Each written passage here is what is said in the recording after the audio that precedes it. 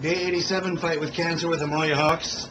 Uh, just a quick heads up, everybody waiting to see Amalia today. She won't be here, so I'll give you guys a few seconds. If you want to go ahead and turn off the video now, I'll wait.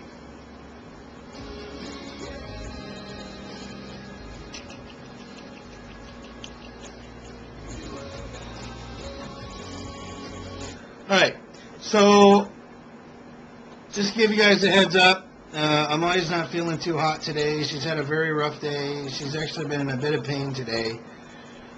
Um, she's sleeping now. She took her uh, pain medicine tonight.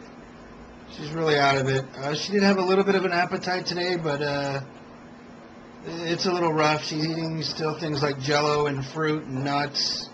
Um, by her choice. It's what her body's craving right now. So uh, the one thing is, she did say her side was hurting a lot, uh, where her liver is. It was it was really hurting bad today. So I don't know how to take that. I'm a little concerned, but um, we'll see. Hopefully tomorrow will be a better day. Um, I don't know. It's uh, I don't know if she's going to watch this video or not. Um, but she really is an amazing woman. And she's really inspiring me. And uh, I'm really lucky to have her.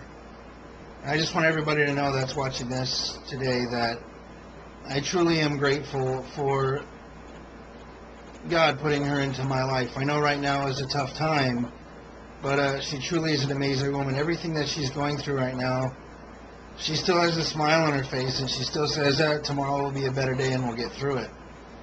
And uh, it just makes me think, you know, no matter how rough my personal life is, that uh, it's not as bad as it can be, and tomorrow will be a better day. And uh, she really is truly inspiring me. And uh, that's kind of the whole reason for doing these videos is not just because it's just a, it started off as an update for the family and for the friends just so they can see how she's doing check in every once in a while but uh it's really kind of changing and i'm watching her go through this and it's uh it's taking on a whole life of its own where i'm feeling myself change and think things i've never thought and do things i've never would have done because of her and because I see how amazing of a woman she is. So I'm going to beg everybody tonight, um, just keep, just continue praying for healing for Amalia. Uh, all of our friends in North Carolina, our friends in Kentucky, uh, our friends all up and down California, um, and everybody else. We even have a friend over uh, across the pond, and uh, and everybody in between. Just keep praying for Amalia. Keep sending out positive thoughts. Uh, we really need your guys' help right now, and she's going to get through it.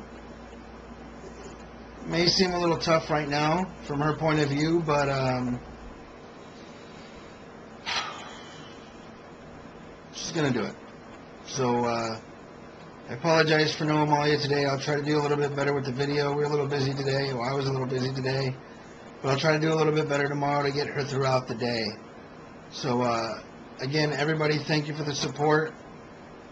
I I really, I really am glad you guys are making this uh, a little easier to handle than I would have thought. So, uh, everybody, keep it up.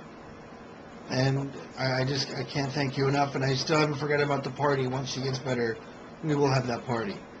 Well, after I take her to Hawaii and come back, but whole other story. See you guys tomorrow.